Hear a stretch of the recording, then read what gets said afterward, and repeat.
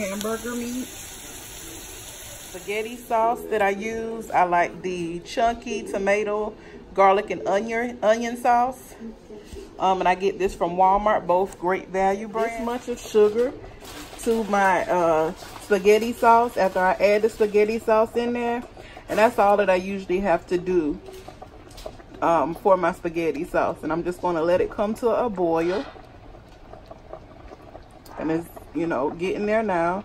going to mix this sugar in. And then my sauce will pretty much be ready to go. And with this sauce, I don't have to add much. I do add just a pinch of seasoning, salt, and black pepper. My noodles right here, if y'all see the steam coming off of them, I usually just let them cool. I have them sitting on top of a bowl. Um, they're gonna cool and while I prep my mixture for my lasagna that I'm gonna show y'all. So let's go over here and start the mix. I have a bowl here. And in this bowl, I have about, I would say, use eight ounces of ricotta cheese. This is the kind I use. I made a pasta the other night and I drizzled some on top of mozzarella cheese on top of it. So this is what I have left of the bag. And I'm going to, this is actually a four cup bag of mozzarella cheese. So I'm gonna put all of that, uh oh, sorry, into this. Then I chopped up some spinach, about this much, which is about a handful. And I add that. And I'm sorry I'm showing y'all like this, but my tripod is not cooperating. So this is what I have to do. So then I have the squeeze sour cream. I would say you would use four squirts of sour cream.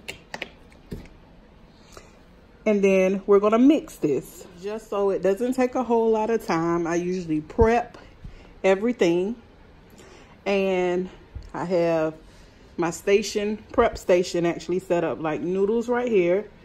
I went ahead and separated them so it's easier for me to go ahead and layer. Have my sauce right here and then my ricotta cheese um, spinach mixture right here. First thing you're gonna wanna do is to add some of your sauce to your pan. Just keeps the noodles from sticking to the bottom of the pan. And then you're just gonna basically spread it out. And it's up to you how much you wanna add to your pan, but I just basically do it just to wet my pan. And then you're gonna start layering your lasagna noodles. I usually put about four at the bottom.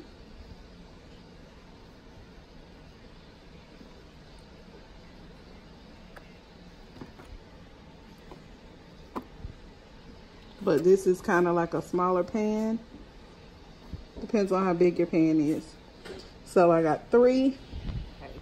Now I have another layer layer of my ricotta cheese. Y'all, I usually have more sauce, but my kids wanted to make nachos. So I allowed them to make nachos with some of the sauce.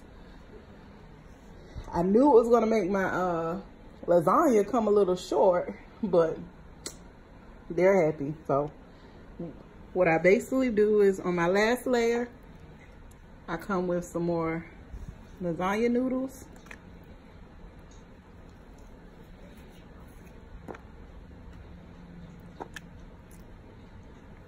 Trying to get it as straight as I can. Okay, So then I'm gonna add the rest of this sauce on top. How, how it looks. Some people don't even put sauce on the top of their top layer of noodles, but I do because I don't want my sauce, to, my noodles to be dry. So then what I do is I have this sharp cheddar cheese. And you can use really any kind of cheese you want to use. Some people use the mozzarella. But like I said, we made pasta, so I didn't have a full bag. Basically, use what you want, but we usually use sharp cheddar cheese on our lasagna anyway on the top. Or if I have mozzarella, sometimes use that. Just whatever I have. So, I like my top layer to be very cheesy. So I'm just gonna add all of this that's in this bag to the top. Just make sure you have, you wanna have cheese in every, every area on the top of your lasagna. And my hands are clean. Just feel like I have to say that I'm constantly washing my hands.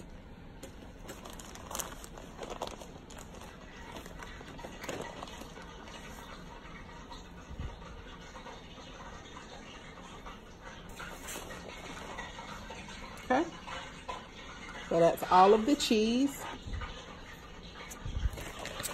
And this is how it's gonna look going in the oven.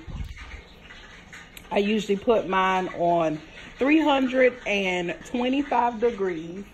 And I usually let my lasagna bake for about 35 minutes or depends on your oven, how fast it cooks or whatever. I usually do about 35 minutes. Um, and I just want to do that to brown the cheese as well as let everything else cook through. Everything is basically done, but you just want all the cheeses on the inside to melt and cook. Then I sprinkle sprinkle some um, parsley. And I just have this parsley I got from Sam's on top of it. And then I'm gonna go ahead and put it in the oven. Finally took the lasagna out the oven after 35 minutes. And you want to let the let your lasagna actually sit for at least about 15 minutes so it can cool down and it'll be easier to cut um, and it won't be so soupy. If you cut it now, it'll kind of have like a soupy effect to it in the inside. So you're gonna wanna let it sit for at least 15 minutes.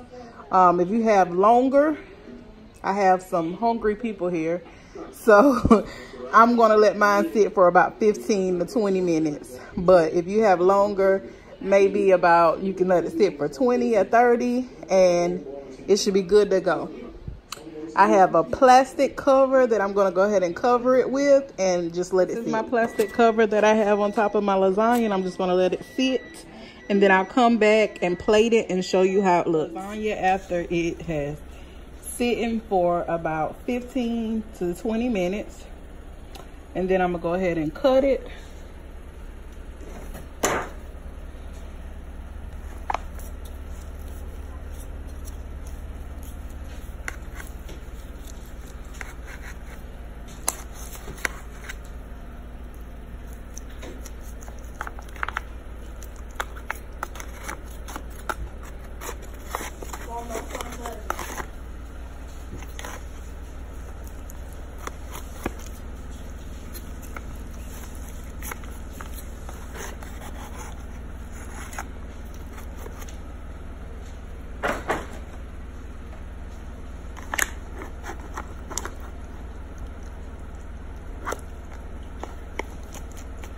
See, the longer you let it sit, the easier it is to cut it. Like I told you, have some people that's ready to eat, so look at that.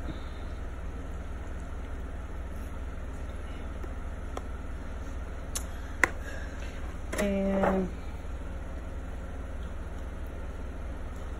that's about it, y'all. This is how it looks. And this is the finish. I made some barbecue chicken wings to go along with them. I fried, they're actually fried first and then I added some sauce. So this is how the lasagna looks along with that. And I hope y'all enjoyed.